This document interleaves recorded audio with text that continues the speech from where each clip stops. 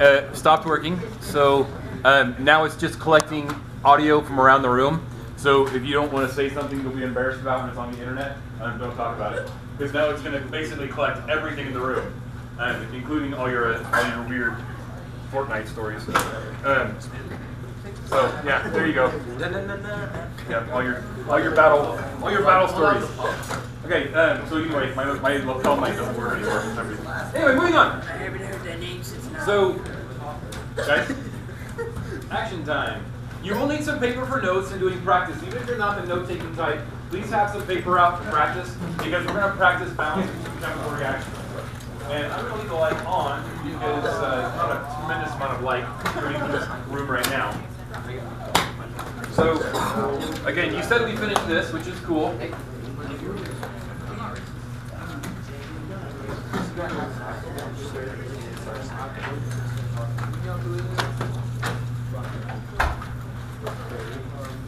All right.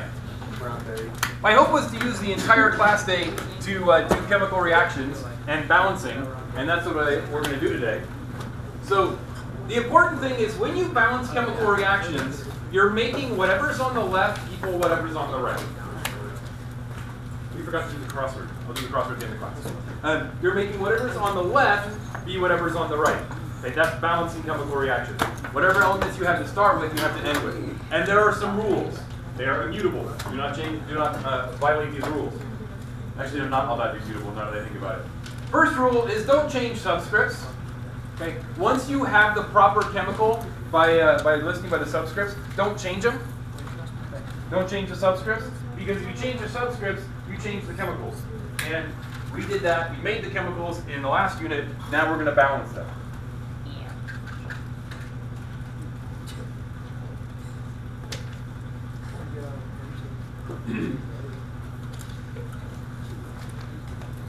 What is this chemical, by the way? Uh, hydrogen sulfate. Good. It's hydrogen sulfate. Again, everything in this class is binary. One positive thing, one negative thing. So hydrogen sulfate. Not hydrogen sulfur oxide, hydrogen sulfate. So when you have a polyatomic, that polyatomic stays that polyatomic in pretty much every case. Okay. In this class, there's going to be very few exceptions. So balance polyatomics first and realize they move as a block. They move as a block.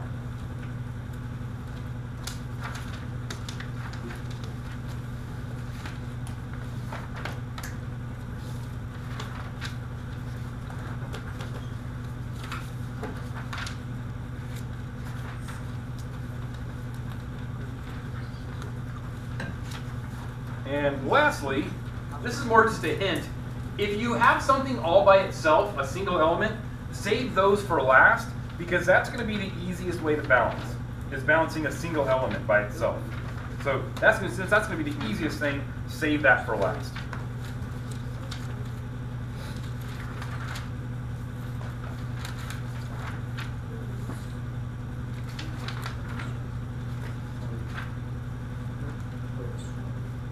And then is not a rule, it's another hint. It's a technique. If you find yourself trying to balance a bunch of odd numbers, odd numbers don't like to balance. They're tricky. So the best thing to do is, should you find yourself trying to balance a bunch of odd numbers, double everything. If you double everything, it's going to make your life a lot easier.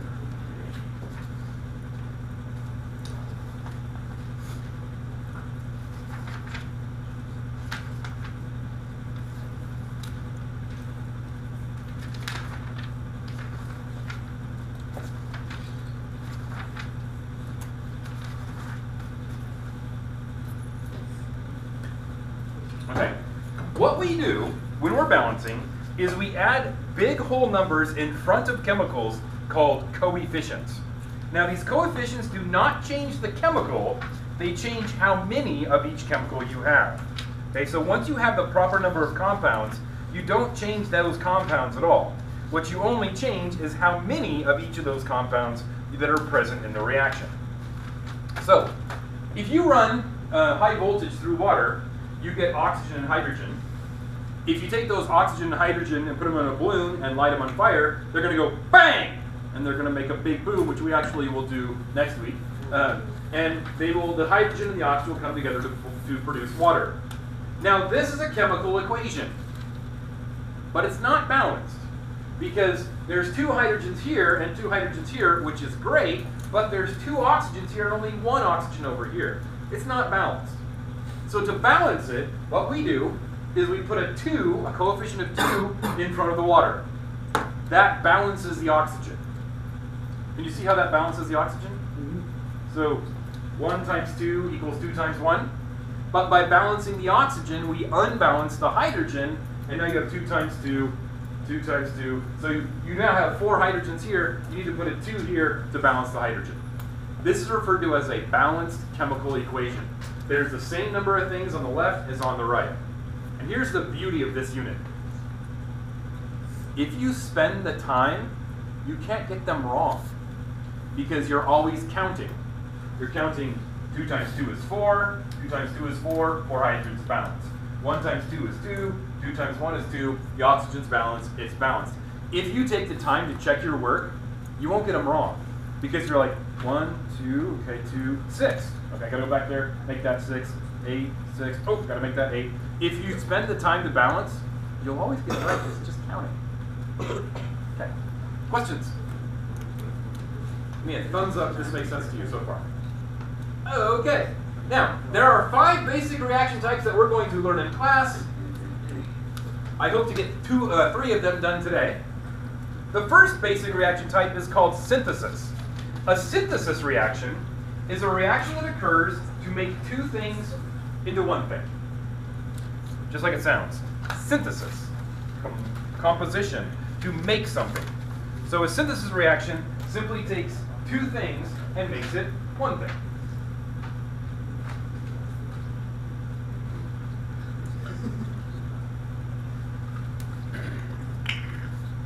Now the first one I'm going to do is pretty fun. This is just magnesium wire. Magnesium wire is pretty cool. It's uh, magnesium is an exceptionally not dense metal. I don't know if there's a if there's an antonym for density, but it's an exceptionally not dense metal. Um, the magnesium alloy is used in airplane wings to make them light. So magnesium is just Mg. And I'm going to put a little S after the Mg. What does the S represent? Solid. Solid. And uh, I'm going to heat it up so it reacts with the oxygen and air. And what does the G represent? Gas. Gas. And this is going to make a compound of magnesium oxide. Now, we learned last unit that magnesium has what charge when it's in a compound? Plus 2. And oxygen has what charge when it's in a compound? Minus 2. So MgO is just great. Okay. Now, is that a balanced chemical reaction? No. Exactly. No, because there's two oxygens over here, two oxygens over here. I bet you can balance this. So balance this by placing coefficients in front of the compounds.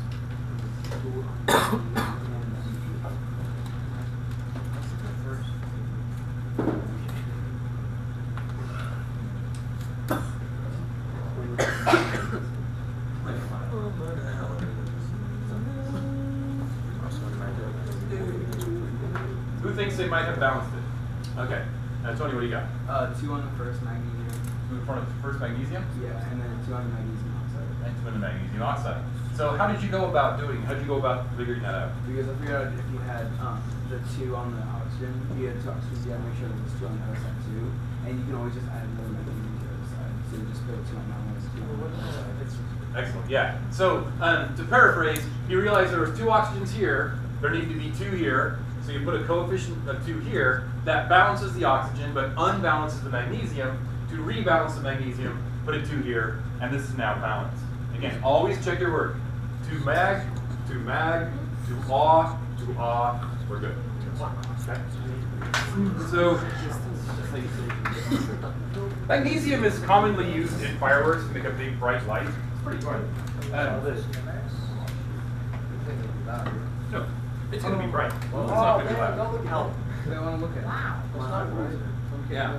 The, the amount of energy that, that gets released when magnesium reacts with oxygen is, uh, is considerable. So it makes a very, very bright light.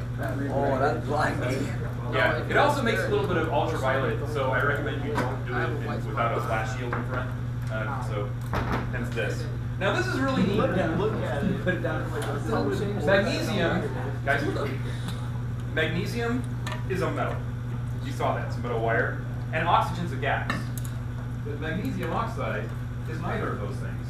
Magnesium oxide is uh, a powder. Yeah. So the compound that is made up from magnesium, a metal, and oxygen, a gas, is not like either of them. Um, magnesium oxide is just a powder. Pretty cool? All right, let's do another one. One of my favorites is uh, zinc metal. Guys, zinc metal is a very, very useful chemical. And uh, I'm going to use zinc powder, and we're going to react it with sulfur. Now, sulfur is very strange. Um, if you remember the video, sulfur makes these rings of eight sulfurs, these crazy little ex, uh, like octagons, and it's also solid. And when they react together, they're going to make zinc 2 plus sulfide. They're going to make zinc sulfide, which is also going to be solid. So go ahead and balance this as I grind up our chemicals.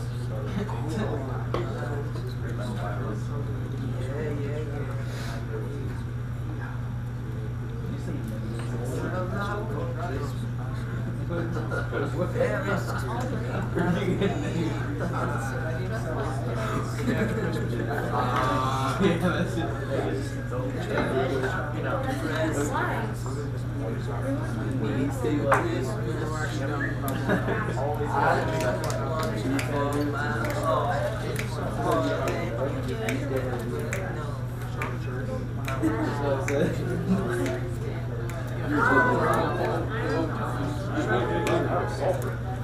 it. All right, ladies and gentlemen, there is. Uh, you're going to be doing stuff like this in January.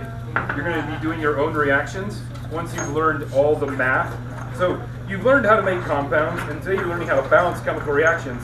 And then in January, you're going to learn the math about how to make each thing, like how much you need of this to make how much you need of this.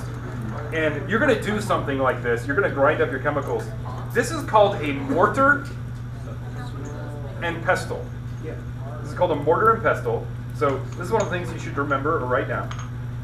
So I, I'm grinding up my sulfur first in the mortar and pestle, and then I'm going to add it to zinc. Sulfur has some crazy static electricity things going on too. It, just gets everywhere. Smells good. And it smells funky too. All right, throw that in there.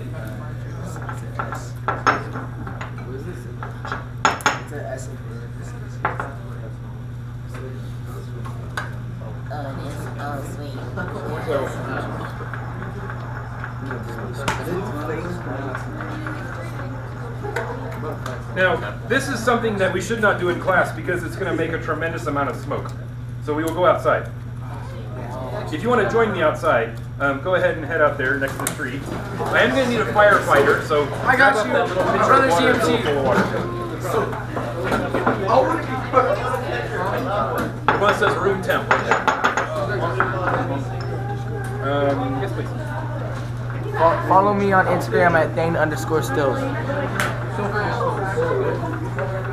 not fond of it. But I'm glad you like it. It actually smells oh, no. Yeah. Your rubber hose is quite. Uh, Take physics and you'll find out why. yeah. Kinda- I don't know why.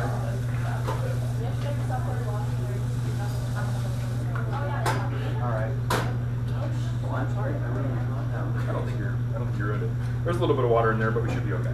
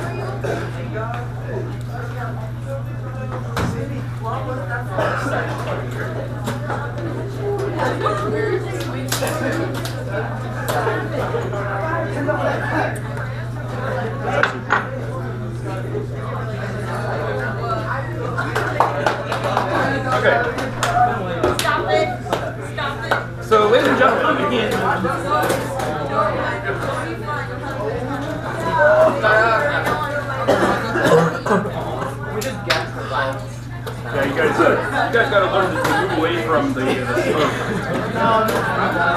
comes the smoke. All right, guys. If we can't, if we can't come back to order after going outside, we won't go outside. All right. So, uh, so that's synthesis. Synthesis reactions occur when two things come together to form one thing. These are also frequently called compositions. Now, this is another one. I don't have a, I don't have this chemical, but it's a good one to balance. Uh, if you have aluminum and bromine, if you take some aluminum powder and you add it to some bromine, remember bromine's diatomic. It's going to make a compound of aluminum bromide. Now, aluminum has what charge? We found out yes, last unit aluminum has what charge?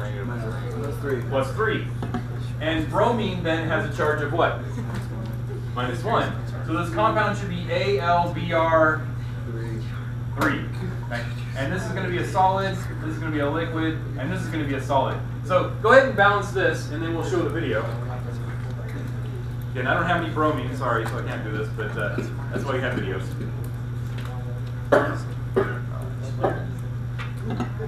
Okay. This cloud of, this cloud of smoke. I moved. I moved. and the wind moved as I. I am. I am. Are you balancing this? You need to practice. It's not hard to balance, but things do get more complicated as time goes on.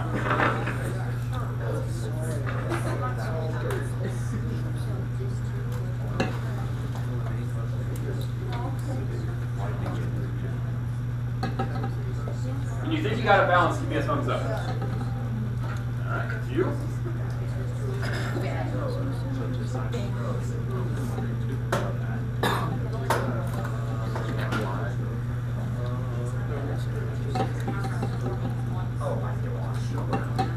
What is the lowest common multiple of two and three? Six. So let's go ahead and uh, well, what do you tell me? What you think you got? So what do you got? Two, three, two. Try a different color. Two, three, two. No. Two, three, two. How did you come about uh, answering that? How did you come up? Well, because you say always multiply the odds, so I, I put uh, two there to double it first. Cool.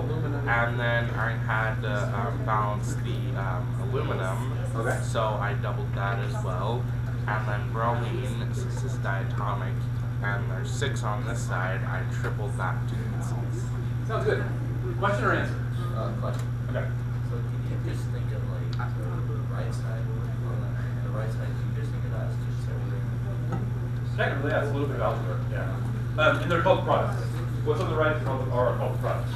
All right. Let's take a look and see if our video is going to work. Experiment, we are going to react liquid bromine with aluminum to make aluminum bromide. First, a layer of bromine is poured into the bottom of a beaker. Then some aluminum pellets and powdered aluminum are placed on top of the bromine.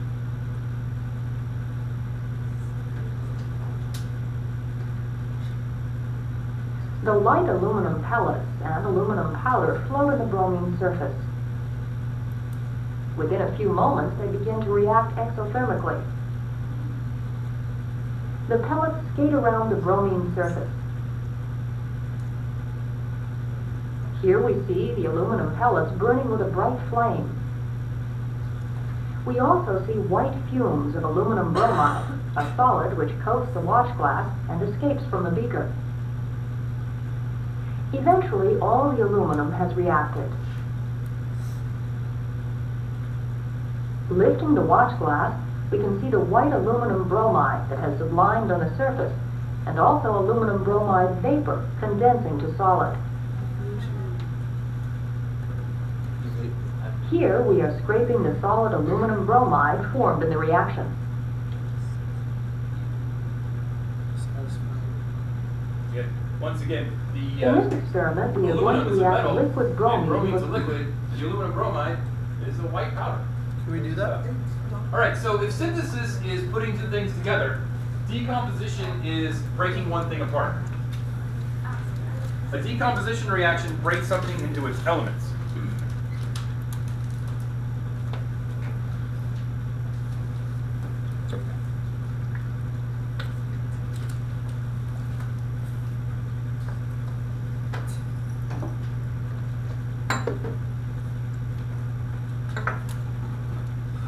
I need some of that on my phone.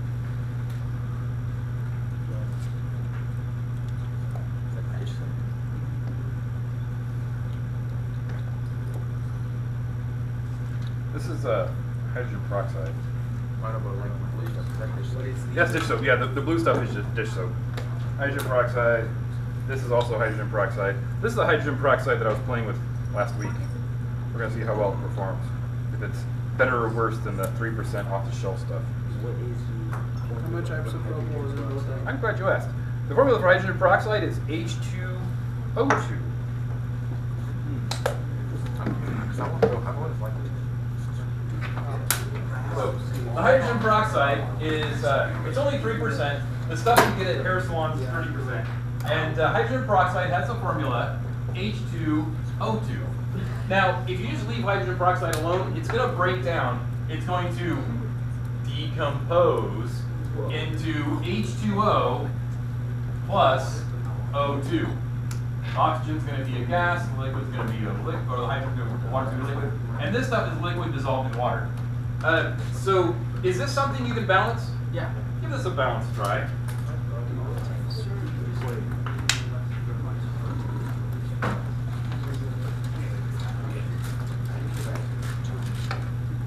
It's a liquid dissolved in water, isn't it?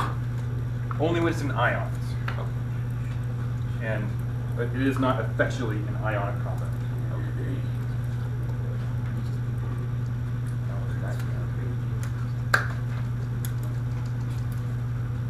This is uh, iodine. The ion, the, uh, the iodine ion, acts as a catalyst to break the reaction down. So I'm going to put a little catalyst notation up here. So we need a, an iodine ion as a catalyst. So, can use potassium iodide for that.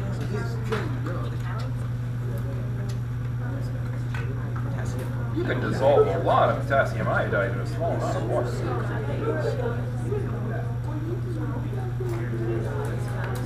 How hard is it to get all this? Like I know like pero- hydrogen peroxide's not under, but like all this hydrogen, how, like, where do you go to get those? You can buy all this stuff online. Oh, okay. So you guys got it balanced? Yes. Questions? Why does aluminum foil mi- like burn up in the microwave but not in the Okay, that's physics, but uh, I'll explain why. Um, actually, it actually is a little bit of chemistry. Remember how we talked about when electrons gain energy, they jump up? Yes. Well, if you give them the right kind of energy, they'll jump, jump, jump, and then leave. And what happens with aluminum foil is the electrons are jump, jump, jump, and they're leaving, and they're basically trying to create a circuit. They're trying to leave the metal. Well, if they give them a place to go, like the metal sides of a microwave, then they'll jump, and that's where the spark comes from. Eventually, you get enough sparks, it starts burning the aluminum itself.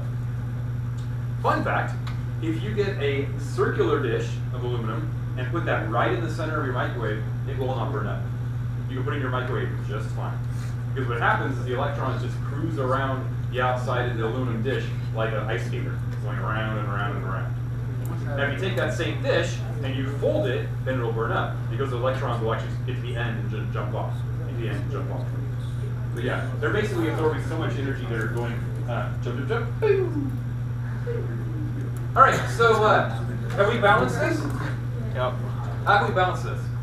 Two, two. two, two? Yep, two, and then two, and then So you put a two here, and you got four hydrogens, now you need a two here, you got four hydrogens. Now you got four oxygens, and you got two and two, four oxygens. Okay, cool. Now, let's see which one. So this little one is the uh, three percent that's been sitting on the shelf, and this is the, the, the stuff that I put together. Let's see how they do. I'll half in here, and half in here, and give them a shake, give them a shake,